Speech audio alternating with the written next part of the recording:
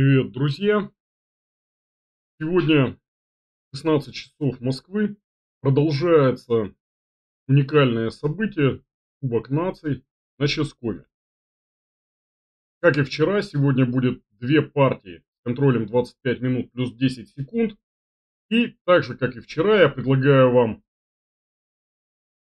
смотреть, следить за партиями э, на моем канале. Снова со мной будет великолепный гость, легендарный Рауф Мамедов, переигравший практически со всеми шахматистами всех сборных, которые участвуют в этом турнире, половину жизни входящий в сборную Азербайджана.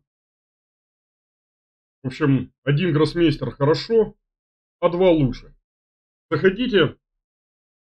Уверен, что будет очень интересно, по крайней мере вчера. Без всякой, без всякой помощи компьютеров Рауф показывал фантастические идеи, сыпал интереснейшими вариантами и уверен, что сегодня будет не менее интересно.